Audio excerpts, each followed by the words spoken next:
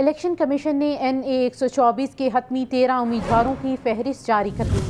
पाँच सियासी जमातों के नुमाइंदों समेत आठ आज़ाद उम्मीदवारों को इंतबी निशान अलॉट नू लीग के राना मुबशर इकबाल को शेर के निशान पर इलेक्शन लड़ने की इजाज़त।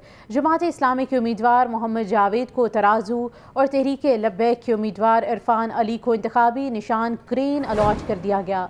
पाकिस्तान अवामी तहरीक के मुजाहिद महमूद को मोटरसाइकिल, पाकिस्तान मरकज़ी मुस्लिम लीग के मोहम्मद अमीन को कुर्सी का इंतबी निशान अलॉट कर दिया गया है। आपको अपडेट किया जा रहा है, इलेक्शन कमीशन ने एन ए एक सौ चौबीस के हतमी तेरह उम्मीदवारों की फहरिस्त को जारी कर दिया है। पाँच सियासी जमातों के नुमाइंदों समेत आठ आज़ाद उम्मीदवारों को इंतबी निशानात अलॉट कर दिए गए। नून लीग के राना मुबशर इकबाल को शेर के निशान पर इलेक्शन लड़ने की इजाज़त, जमात इस्लामी के उम्मीदवार मोहम्मद जावेद को तराजू और तहरीक लब्बैक के उम्मीदवार इरफान अली को इंतबी निशान क्रेन अलॉट कर दिया गया।